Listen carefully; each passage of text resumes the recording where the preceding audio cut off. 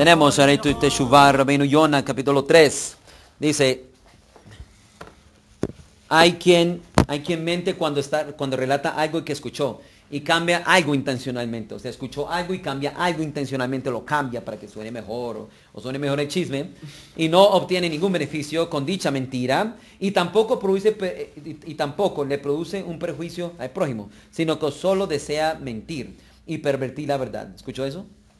O sea, como exagera un poquitico, no pasa nada a usted, no pasa nada al otro, no se afecta nada, pero solamente la intención de usted es que quiere mentir. Su deseo es mentir. Entonces pervierte la verdad. Hay quienes a veces se inventa algo de todo el relato. Este hombre verá su castigo, mermado por un lado, ya que no produce ningún daño a otro hombre con sus mentiras, pero su castigo es grande por su osadía, osadía y por amar la mentira. Amar la mentira es que le gusta exagerar. Su pecado es grave porque desea mentir sin ningún beneficio. Sobre él dijo Rey Shlomo, de, de bendita memoria, dijo, el que profiere mentiras esto es, el testigo falso. Es decir, si ves un hombre que profiere mentiras cuando habla y cuando relata cosas, debes saber que esta mala virtud lo llevará a testiguar en falso contra su hermano. O sea, la persona que le gusta exagerar, la persona que mete mentiras ahí, automáticamente Pasuledud, usted sabe que miente, no es, no es bueno para testificar y va a mentir y va a testificar mal contra su hermano para perjudicarlo, siendo que que ama la mentira. Esto, sin embargo, se permite cuando se trata de cumplir un precepto para hacer las paces, dijeron en que tuvo 17a. Está permitido alabar a una novia delante del novio, diciendo, qué bella, qué buenas, qué buenas maneras, aunque no sea de todo cierto. O sea, decirle a la, novia que, bella eres, que hermosa, hermosa la novia, aunque no sea. Sí, bueno, está todo el desarrollo, tienen que leer esa parte porque aquí, aquí corta. Entonces, porque es bella para su esposo. Por eso, resumen. Dijeron también en Bellamot 65b, se permite cambiar las cosas para hacer las paces. Entonces ahora vamos al otro lado. El otro lado es que se permite cambiar las cosas para hacer las paces. Tal como versa en Bereshit 50:16. Tu padre ordenó antes de morir, diciendo, así diréis a Joseph, por favor perdónalos. Hay personas que cambian unas pocas cosas de lo que escucharon sin intención, porque no prestaron atención cuando estaban oyéndolas. También esto es una mala virtud. También, no solamente ahora hay que miente, sino por no escuchar bien. Eh, eso no fue lo que dije, eso pasa mucho, eso no fue lo que dije, porque escuchó mal. Dijo Shlomo de benita memoria, el hombre que sabe escuchar siempre hablará. El hombre que sabe escuchar siempre hablará. Es decir, si el hombre presta atención y escucha todos los detalles de las cosas para después contarlas correctamente, y que no se halle en su boca nada que no sea cierto, siempre hablará porque la gente deseará escucharlo hablar y no dirá nunca, ¿sí? Nunca una mentira y nunca le van a decir, deja de ya de hablar. Oye, ya, cállese, deje de hablar. No le van a decir eso. ¿Por qué no te callas? Sí, ¿Por qué no te callas mejor? ¿sí? Oye, practica el silencio. ¿Tú sabes qué significa? Nada de eso. Habla más una lora, cosas así. Nada de eso que quiere que le digan a usted porque usted habla mucho o miente. Dice aquí, hacer las paces. Hacer las paces se permite hasta mentir para hacer las paces. ¿Cómo así mentir? Eso sí tiene que consultar con su rabino bien qué significa mentir. Hacer las paces no significa que le mientas al jefe, que no, en verdad hubo mucho trancón, entonces para que el jefe esté en paz y no me dé un memorando. Eso no es la mentira y eso no es hacer las paces. ¿Ok? ¿Ok? Si quiere consultar con, el rabino le puede decir, una de las cosas es Shalom Bait, Shalom Bait se permite, pero cuidado, ¿cuál mentira? No, estuve con otra, no, me le miento que estuve con otra, eso no, eso pasa en el mundo goy, eso no pasa en el mundo judío. Tengo que usar ese ejemplo porque vinimos de, aquí en Colombia, vivimos acá, pero eso no pasa, pero no se puede mentir cuando es una transgresión, ¿sí? Aunque, aunque eh, tiene que consultar siempre con su rabino para saber en circunstancias, especialmente de Shalom Bait. Listo, sigo acá, tres, son dos más secciones y...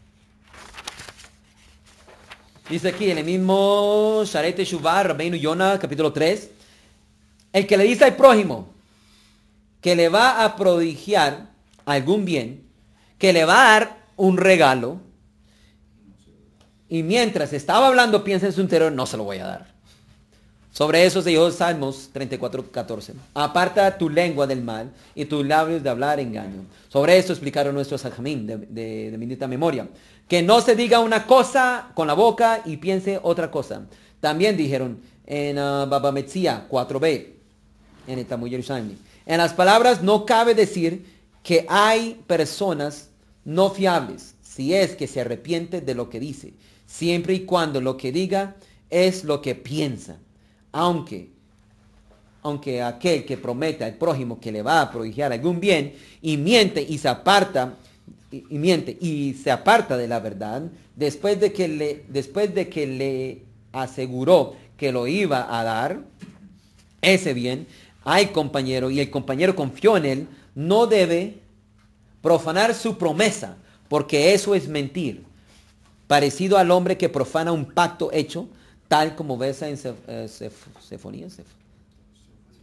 Sefonía, 3.13, el, el remanente de Israel no cometerá iniquidades y no hablará falsamente eh, y encontrará en sus bocas expresiones engañosas. Igualmente, el que dice a su prójimo que le va a obsequiar un regalo pequeño, aunque no lo expresó en forma de promesa, dijeron nuestros sabios que, que en lleno hay falta de fidelidad porque en él, o sea, ya se sabe, porque no cumple la mínima cosita que dice, oye, voy a hacerte este favor, oye, voy a pagarte esto, oye, voy para Rosh oye, te voy a dar zapatos, te voy a dar roca, te voy a recoger en la, en la casa, te voy a recoger a las 5 de la mañana, te voy a ayudar, cosas así, y no cumple su palabra, en sí en esa persona dice que hay algo de infidelidad y falsedad, porque en el corazón del prójimo confía en él y se apoya en él, siendo que el regalo es pequeño y que se lo va a dar. Él confía en él, confío totalmente en él, está sentado confiado en, su, en, su, en el Yehudí que le prometió.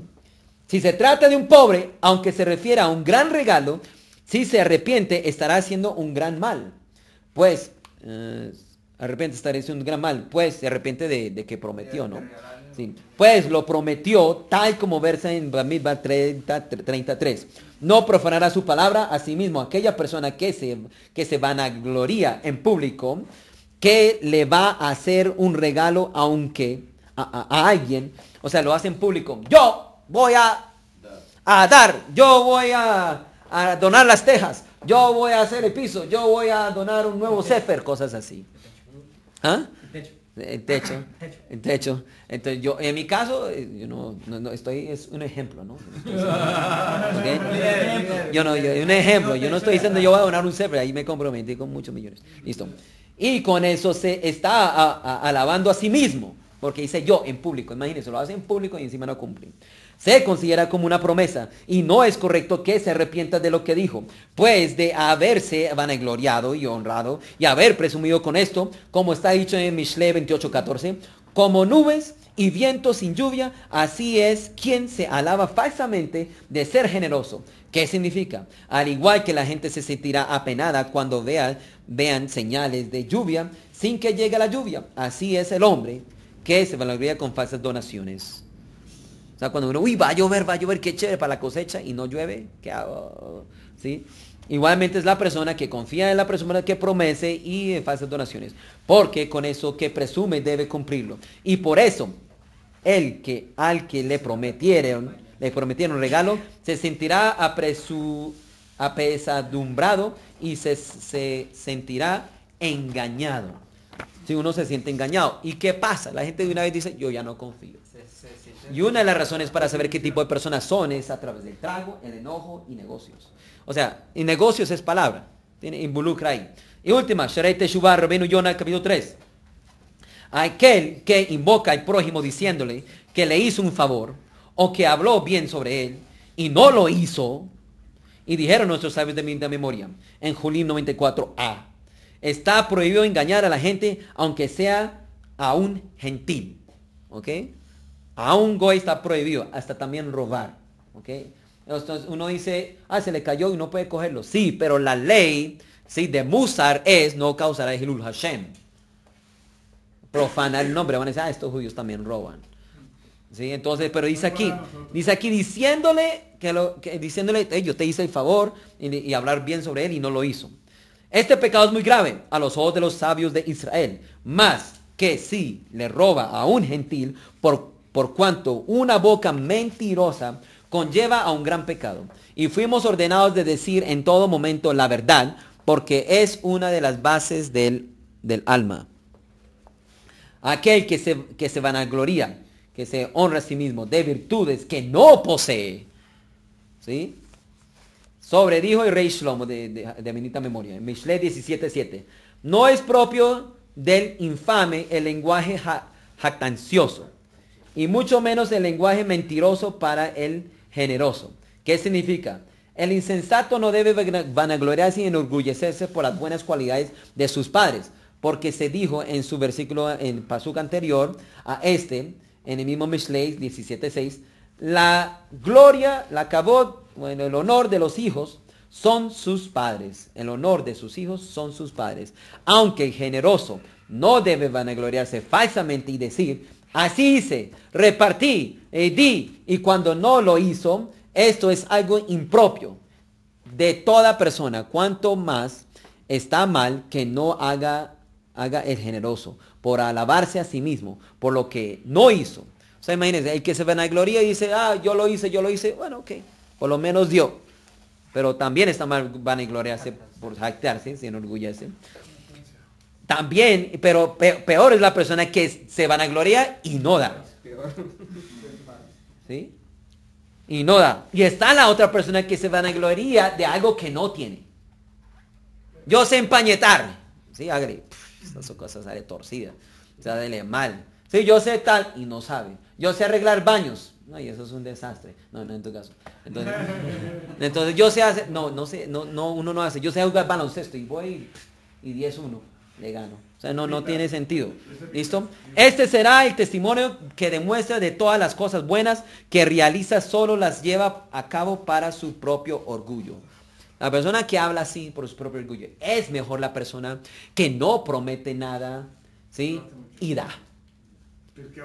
Si usted, si usted puede llegar a esa virtud de qué? De dar en secreto, de darse ese de acá en secreto, de que nadie lo note, de tal, y etcétera. Bueno, si una persona sabe, está bien, pero tratar de que nadie sepa, ¿sí? Eso sería lo mejor. Yo dono para tal que nadie sepa. Y hacer un hábito así, en verdad, eso es algo como un antídoto en contra del orgullo, para que lo miren a usted.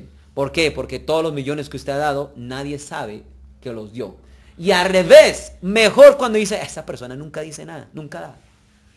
Imagínese eso y usted ahí, ¿cómo así que no doy? Yo fui el que di para tata, yo pagué el arriendo el otro mes, un ejemplo, ¿sí? Y, están hablando de que yo no doy. y usted queda callado, imagínese más recompensa. Encima de eso espía pecados. ¿Listo?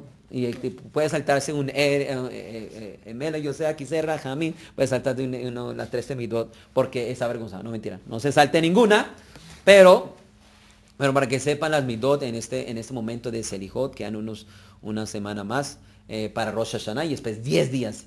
No desfallezcan, no lleguen tarde, lleguen temprano, ¿ok? Lleguen temprano. Si llegan tarde, tiene que ser una vez cada vez en cuando, no, no, no siempre, ¿ok?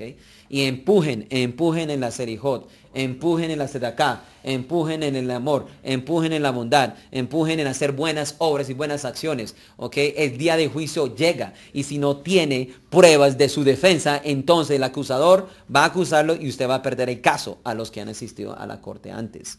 Hasta